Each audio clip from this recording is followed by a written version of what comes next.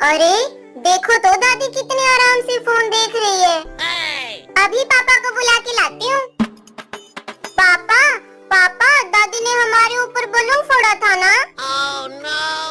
चलो आज दादी को डराते हैं मज़ा आएगा। हाँ नाया चलो आज बदला लेते हैं। चलो इस हॉर्न से डराएँगे नाया। ठीक है पापा। No no no